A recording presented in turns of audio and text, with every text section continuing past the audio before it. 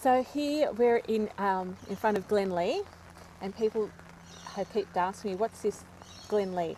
So it's a Lugarno farm. So to best describe it, it has been basically untouched for a hundred years. About that, yes.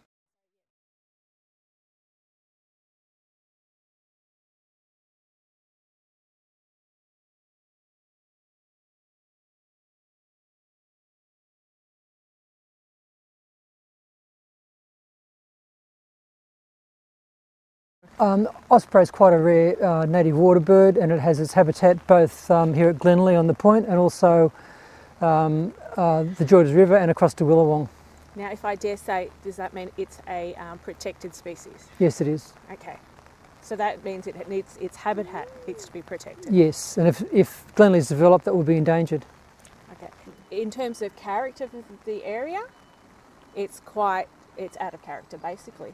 And what strains is it going to put in it? Despite, I do want to mention this that you're losing um, a historical site, um, Aboriginal artefacts that you can get nowhere else, and they're supposed to be protected as well.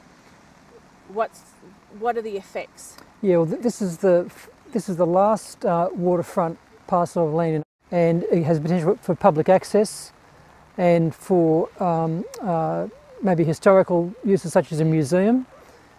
Um, there's also historical boat sheds and uh, also an old jetty.